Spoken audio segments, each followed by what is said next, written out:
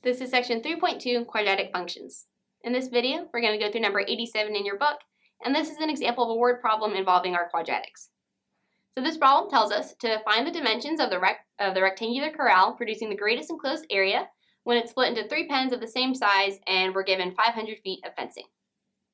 Alright, so there's a whole lot going on in this problem. So the first thing we're going to do is just draw out everything that they're telling us so that we can visualize it, then also so that we're able to see what they're actually asking us for.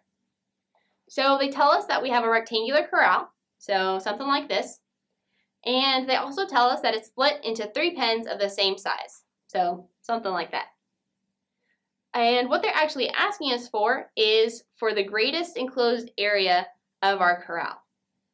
All right, so we know we're dealing with area, area of a rectangle. Remember, to find the area of a rectangle, we just multiply the width by the length. In this case, I'll name my width x and my length y. That means that my area of this rectangle is just x times y. All right, but what I have here so far, I'm not able to solve for anything. I have too many unknowns. So let's go back to the word problem and see if we can find another relationship between x and y so that maybe I can solve for one variable, plug it into this function, and then solve for the other one.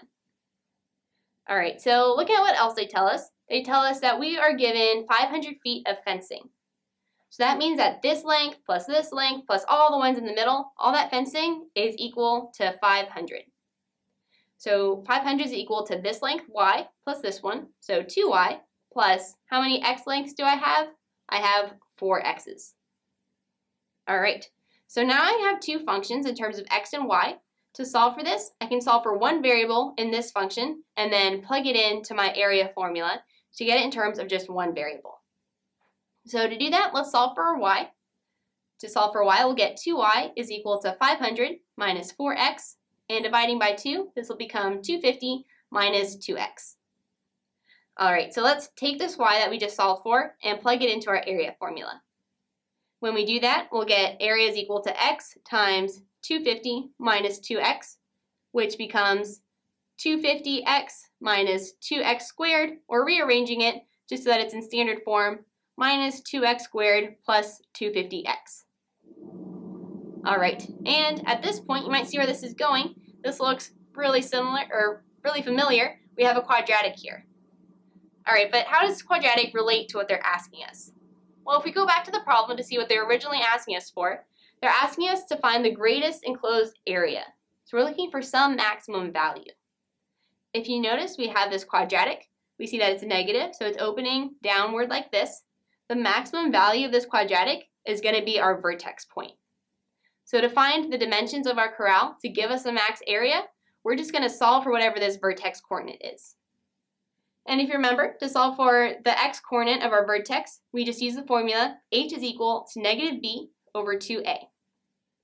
Plugging these values from our function into this formula, we'll get negative b, or negative 250, over 2a, or 2 times negative 2, is equal to h and solving this out, we'll get 250 over 4. All right, so here is the x value of our corral.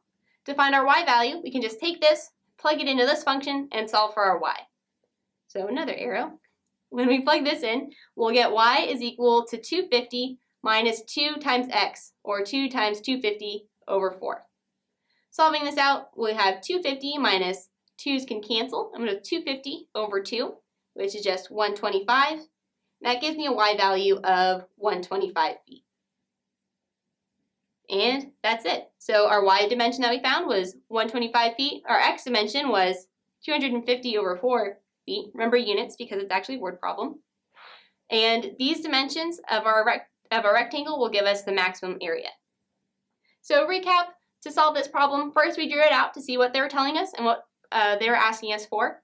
And then we found two equations that related our variables uh, so that we could solve for one, plug it into our other formula, and then solve for what they were looking for. Since we had a quadratic and they're asking for a max value, we just found our vertex, and that gave us the dimensions of our rectangle that give us the maximum area. I hope you found this video super helpful. The concepts covered in this video are true no matter what pre-cal class you're in, but in case you're interested, all the sections and problem numbers referenced in this video came from this lovely textbook right here. Remember that if you're a Baylor student, we offer free tutoring on the first floor of Sid Rich at our Success Center. You can either schedule an appointment online or drop in during our business hours for free tutoring in pre-cal, calculus, and a whole lot of other subjects as well. For more information, visit our website.